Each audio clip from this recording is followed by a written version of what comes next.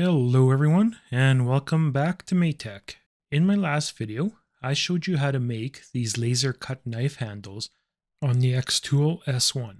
We did these in a variety of different designs and some different woods like the walnut and the padauk woods we have here. If you want to check out that video, I'll have a link to it in the description below. This video will be a continuation of that video where we're going to show you how to engrave the actual blade of the knife using the new infrared laser module for the S1. Just before we get into that, if you haven't done so, please make sure to subscribe to the channel so we can continue growing. There are multiple ways to engrave metals with a laser. The first method is to use a dedicated fiber laser that can be quite expensive.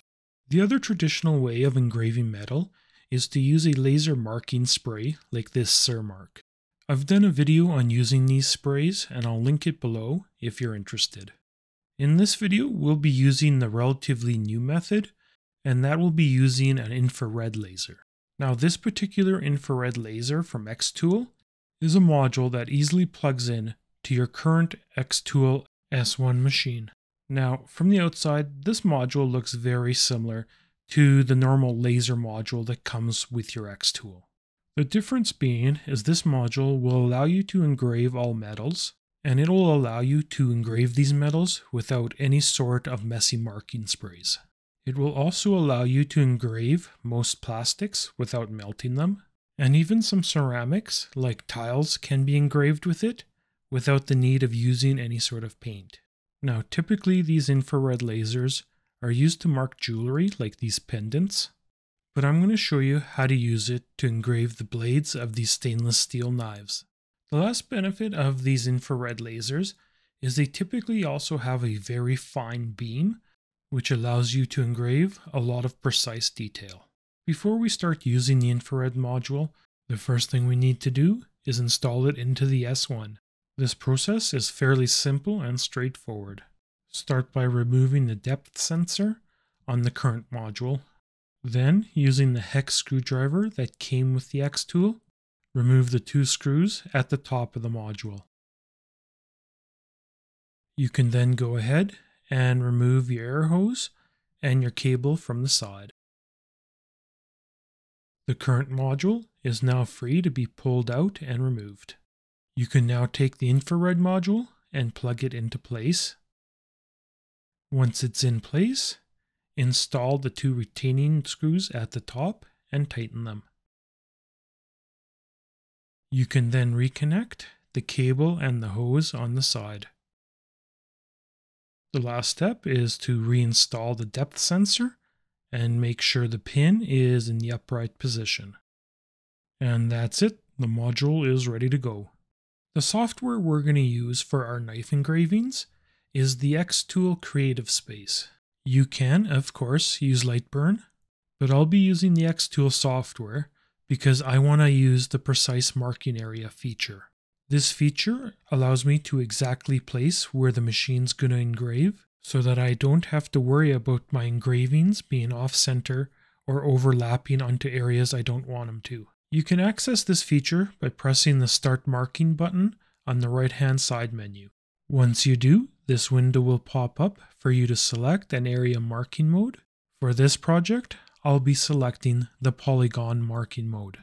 To use this feature, you're going to take the red crosshairs that are projected by the module and moving the module around by hand, you're going to place the crosshairs at different points, creating an exact perimeter around your engraving area.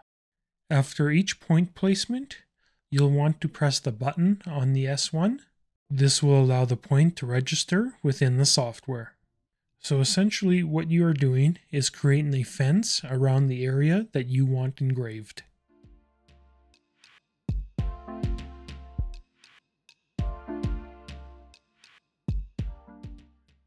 Within the Xtool Creative Space software, this is what it looks like as your points are being created. Once you're done creating your points, click End Masking and then Done. This will give you a polygon in the shape that you marked off on your main workspace. You can now take your engraving and do its placement within this polygon to get your engraving to engrave exactly where you want it. Now I've already went ahead and taken one of the images that I want to engrave, which is the silhouette of this bear up here, and I cropped this image to fit inside the polygon that I already created. Now I'm just going to go ahead and place this image within the polygon area here. Once I have that where I like it, I can go ahead and engrave the image onto the knife blade.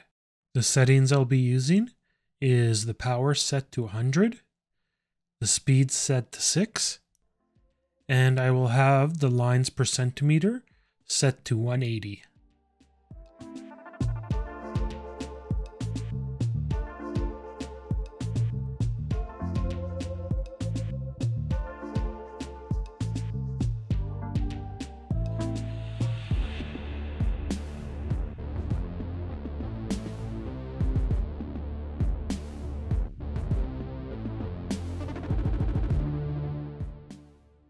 Now that the front side is done engraving, we are going to go ahead and using exactly the same method, engrave the silhouette of these wolves on the opposite side.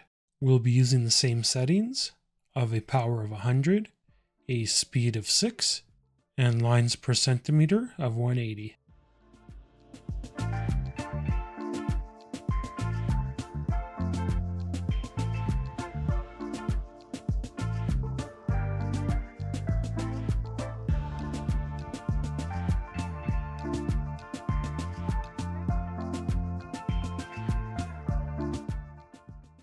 For my other knife blade, I have this floral design, and I'll be engraving this design on both sides of the knife. So one side will simply just be a mirror copy of the other side. And I will be using the same engraving settings as I used for the previous two engravings.